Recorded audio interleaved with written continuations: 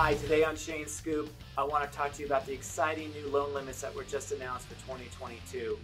Whether you're looking to buy a house or you already own a home and looking to refinance, this is definitely going to help you out. Across the nation, for the conforming loan limit, it was increased to $647,200. What that means is if you're looking to get a conventional loan with as little as 3% down, you could be putting down about $20,000. On an FHA loan with 3.5% down, you're only putting down about $22,000. Now in San Diego County, we have what's called a high balance loan limit. That's going to allow you to be able to get a higher loan without going into what's called a jumbo loan. That balance, that loan limit in San Diego County has gone all the way up to $879,750. So for a conventional loan, you're going to be able to get in with 5% down, which is about $44,000.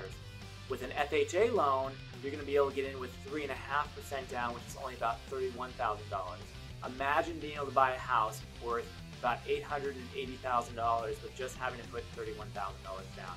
This is going to be an amazing opportunity for home buyers.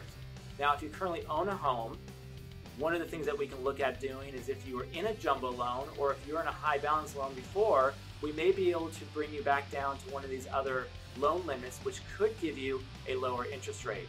Or if you're looking to tap into your equity or combine a first and a second and you weren't able to do that before, the new loan limits could give you new opportunities to look at combining that debt or taking out a little bit more money to accomplish your goals. The nice thing is that we can start these programs now within the next 30 days and give you the loan limits in 2021 that are set for 2022.